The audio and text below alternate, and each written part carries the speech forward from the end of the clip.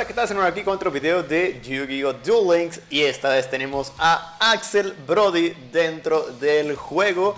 Ya al fin ha llegado este nuevo personaje y es duelista rondante, ya saben, no se va a poder desbloquear en esta oportunidad, pero tal vez la siguiente vez que salga sí sea desbloqueable. Pero bueno, por lo pronto trae algunas nuevas eh, recompensas, trae Inferno y trae eh, Rebanador Volcánico, así que hoy vamos a ver los mejores decks de farmeos baratos para poderle sacar el máximo provecho. También para poderle sacar habilidades y gemas, que creo que es lo que a la gente más le importa, más que las cartitas. Tal vez el Rebanador Volcánico es el único que puede interesar a las personas. Pero bueno, Vamos a empezar por uno de los decks que más me gusta y uno de los decks que tiene mejores porcentajes de victorias y es el de Claudianos. Esto es por el número de cartas que tienes para empezar con tu combo inicial. Esta vez no tenemos los 9 Claudianos y las 9 cartas para no recibir daño, pero las bajamos nada más a 7.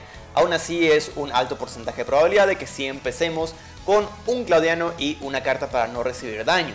Entonces, 7 claudianos que no pueden ser destruidos en batalla. Ojo, si pueden ser destruidos eh, por efectos. Y también se ponen en modo de defensa. También los puedes destruir tú mismo si quieres. Eh, y tenemos 7 eh, cartas para no recibir daño, que son Seradias, para poder sacar rápidamente el Santuario en el cielo, el cual, como tenemos monstruos tipo hadas en el campo, no vamos a recibir ningún daño. Y también tenemos como opción Barrera Espiritual. Y los cambios que he hecho es debido al deck de Axel Brody. En la parte derecha estarán viendo el deck que él está usando. Este es para el de nivel 40, este poco parecido del nivel 30, así que pues todo funciona para ambos niveles. Vale, las únicas cartas que nos preocupan de él son el monstruo de nivel 6, el cual puede hacer daño de efecto eh, por cada monstruo que tenga él en el cementerio. Entonces mínimo va a tener uno porque siempre lo va a sacrificar. Así que por eso mismo lo mejor es no destruirle sus monstruos, simplemente dejar pasar turnos, por eso es que estamos usando este deck. También tiene el acelerador, el normal. Este supuestamente nos podría destruir a nuestros monstruos. Pero debido a que no tiene ningún solo monstruo con menos de 500 de ataque, pues no lo va a poder hacer.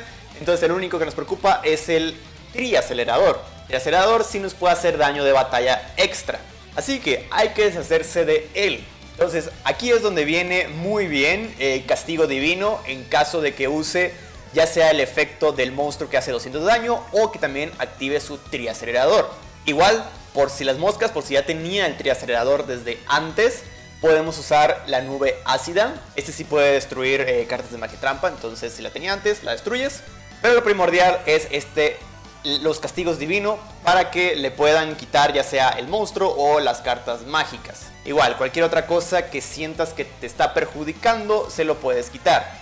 También puede negar la carta mágica que está entre los triacelerador y las cartas de trampa. Esa puede destruir a todos los monstruos en el campo, pero casi nunca lo usa porque sus monstruos son más poderosos que los tuyos. Así que no hay tanto problema. Aún así, también esta carta de castigo divino está en caso de que la llegue a activar. Y bueno, debido a que le estamos bajando un poco de cartas que son nuestras hadas, Sonrisa de Hada ya no viene tan bien. Obviamente también te sirve mejor que eh, aumento de vida alfa, pero en caso de que quieras usar otro personaje que no sea Jesse Anderson, puedes usar aumento de vida alfa. Ahorita ya va muy bien. Lo único que sí es que les recomiendo mínimo tener una, dos cartas de preferencia que te aumenten puntos de vida. Solamente les recomiendo tener un solo deseo solemne, pero la segunda copia sería bueno para sacarlo rápidamente. Igual, si tienen vaca San Antonio es mucho mejor porque así no les estorban el campo y así pueden poner más castigos divinos en el campo y defenderse de una mejor forma. También, si tienen más cartas de aumento de vida, mucho mejor. Incluso podrán quitar la barrera espiritual que simplemente está de relleno, simplemente para equilibrar un poco las cosas y sí, sí o sí sacar una carta para no recibir daño. Pero fácilmente esta la pueden sacar y meter otra carta para aumentar puntos de vida. O incluso si no tienen tantas cartas de aumento de vida o la barrera espiritual, no hay ningún problema. Pueden meter eh, más claudianos, pero ahí sí les recomendaría tener más sonrisa de helada. Vale, vamos de una vez a lo que es el duelo, para que vean cómo funciona. Brody, nivel 40.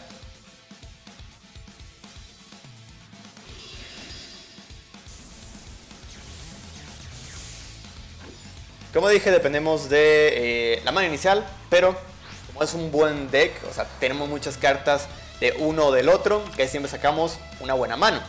Tal cual, sacamos ya una carta para no recibir daño y un monstruo. Vale, bueno, dos cartas para no recibir daño. De todas maneras, Seradias acelera. Y una vez.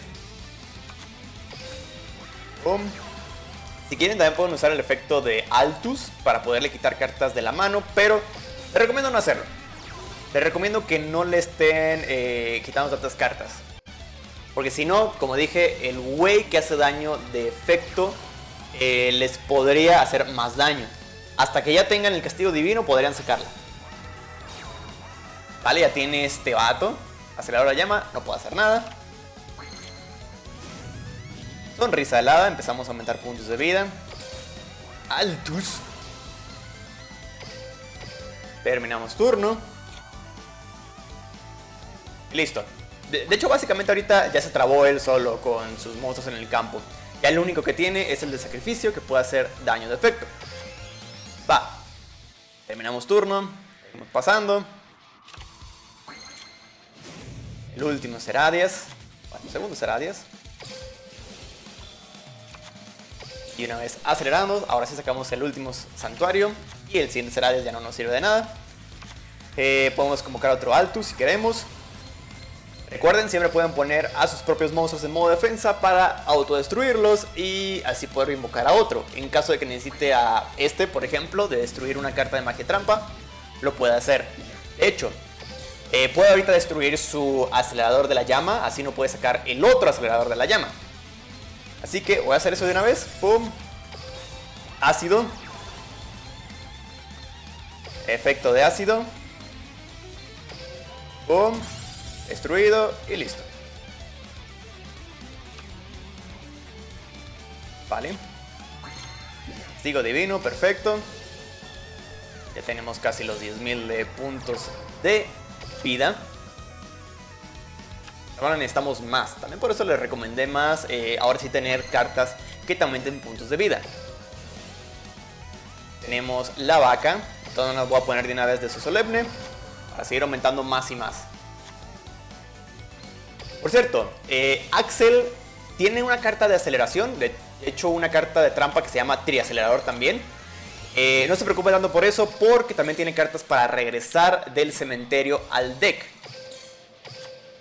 Así que da igual si se acelera, déjenlo, déjenlo que se acelera, al final él mismo se va a regresar las cartas. Sonrisa helada. Chingos de puntos de vida, ya con eso ya estamos más que del otro lado.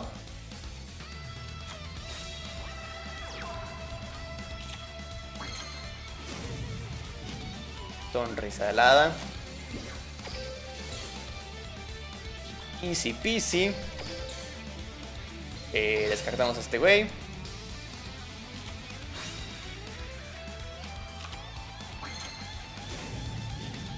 Sonrisa helada.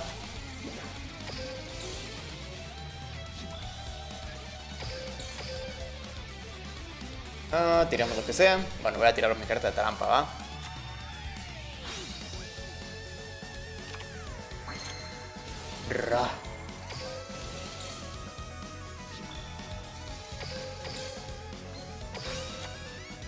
Listo, ya casi terminamos.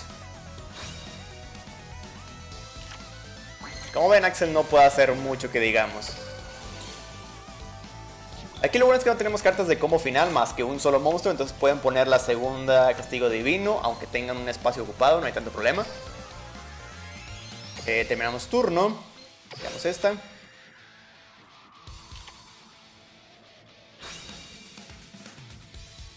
Y ahora sí, último turno.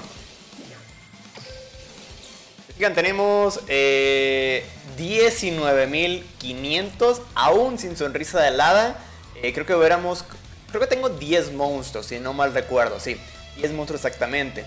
Eh, nada más que saqué 4 monstruos de mi primera mano, así que fueron nada más 6.000 extra que tenemos. 13.000 más los 1.000 que nos hubiera dado el, el aumento de vida alfa, hubieran sido 14.000, así que de todas maneras les da suficiente ataque.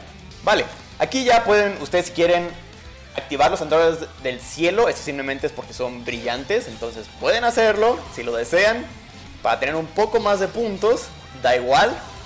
Acabo que él no tiene ningún monstruo de hada, como para que no reciba daño, pero en caso de que los tuviera, el último que activara sería boca abajo. Va, entonces ahora sí, sacrificamos nuestros triple claudianos, activamos el efecto de Ra y con un chingo de ataque destrozamos a su mono. Vale, ah, se me dio que ese güey nada más te deja atacarlo a él. Si, si ven que no pueden pasarlo unos turnos antes, destruyanlo. Se me, se me pasó ese pequeño detalle. Si no lo pueden pasar por sus puntos de vida, destruyanlo desde antes y listo, ya pueden atacar al que sean, ya pueden atacar al, de 1700. Recuerden que el cítrico puede destruir monstruos, entonces simplemente pongan un monstruo en modo de defensa y convocan otra vez a cítrico y listo. Vale, olvidé mantener la postura. Vámonos a otros decks de farmeos. Aquí busquen un personaje que tenga eh, robar sentido nivel alto. Aquí les muestro algunos que lo tienen. Eh, lo tiene Chaz, lo tiene Zane, lo tiene el Dr. Crowler y lo tiene Jubel, Tirano Halsberry y también Sartorius. Entonces son varios personajes que sí tienen. Este es el segundo deck. Este se concentra en el dragón de materia de primera, ya que su efecto es que cualquier daño eh, de efecto se convierte en daño positivo para ti. Así que esta va a ser la estrategia básicamente. Eh, ¿Cómo obtener? Esto era de eventos, pero actualmente está como tickets de duelos igualados, así que es muy fácil. Y nada más necesitamos una copia. También vamos a necesitar muchos monstruos que se puedan invocar de manera especial. El más sencillo es Dinaterio, que también se obtiene de tickets del PvP. También tenemos eh, Desconocido, que es por subir de nivel a Yusei. También tenemos cartas de cajas como Mirta, que es una de las mejores. Eh, por un detallito que ahorita voy a decir. También tenemos las hadas de la fortuna, que cuando se roban se pueden invocar. Creo que estas son de las peorcitas, pero bueno. También tenemos eh, basura adelante, que viene en una estructura. Igual se puede invocar si tú no controlas ningún monstruo. Y también tenemos eh, las batallas que muchos se pueden invocar de esta manera. Entonces, hay muchas cartas que actualmente se pueden invocar. Eh, busquen más cartas que digan, si no controlas monstruos puedes invocar cartas, que creo que es la manera más sencilla de encontrarlas. Es el caso de Basura Adelante y Sincron, Desconocido. También recuerden que existen cartas de trampa monstruos que también te pueden servir. De hecho, esta es una de las mejores. Esta trata con patrón, ya que tiene 2500 de defensa. Igual creo que es de tickets y tickets del PvP. Yo sé que ya hay muchos de tickets y no muchos van a tener todas estas cartas, pero bueno. Es otra opción. Y de hecho, incluso cuando metí esta dije, oye, pues también podríamos meter en la cibersombra Garna, el cual también es un monstruo. Regresa a ser una carta de trampa, entonces el efecto de destrucción de la estatua con patrón se puede estar reciclando. Y con eso puedes destruir muchísimas cosas, incluyendo el monstruo, el único monstruo que puede superar esta carta, que es el 3000.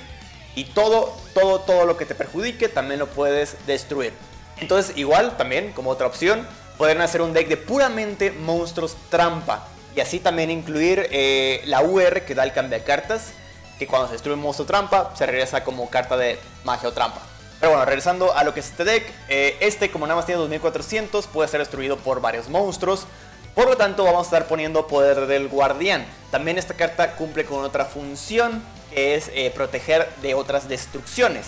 Como les había comentado antes, Axel tiene una carta mágica que puede destruir todos los monstruos, por lo tanto creo que esta es de las mejorcitas. Si no les hubiera comentado de que, ah, mete cualquier otra carta de equipo que supere los 3000 y listo. Pero sí, eso creo que es más necesario por el hecho de que sí te podrá destruir al monstruo. Entonces ya con esto cumple dos funciones, que es seguir aumentando tu ataque y además que no te destruyan. Igual, pueden meter eh, alguna carta para buscarlo, que es el noble caballero. Esta carta puede buscar cartas de equipo, portador de la lanza del noble caballero. Entonces con esta ya tienes más copias del poder del guardián. Y listo, ya este güey va a ser una cosa enorme con tanto poder. Y ya, ya nada más vas a necesitar convocar al vasallo, doble ataque unido y listo. En caso de que necesites más porque por alguna razón no tienes el poder del guardián o no tienes algo para aumentar tu ataque tanto, eh, puedes meterle triple ataque unido y listo. Vale, esas son las opciones y como dije también hay otra opción con puramente cartas de trampa, monstruos trampa y ya con eso rellenas con tu combo final favorito. Ya sea eh, escudo y espada, tener dos de estos, escudo y espada, ya tienen 2500 de ataque y listo, vasallo, doble ataque unido, GG's. Entonces ahí ya tienen tres decks para poder farmear a Axel Brody. Vale, eso era todo por este video. Muchísimas gracias por verlo. Recuerden dejarle like si les gustó. No olviden suscribirse al canal para no perderse de más videos, más farmeos y más filtraciones del jueguito. Y también no olviden compartirle este deck a sus amigos para que sepan cómo farmear de forma efectiva al Axel Brody. Así me despido, nos vemos a la próxima. Bye bye.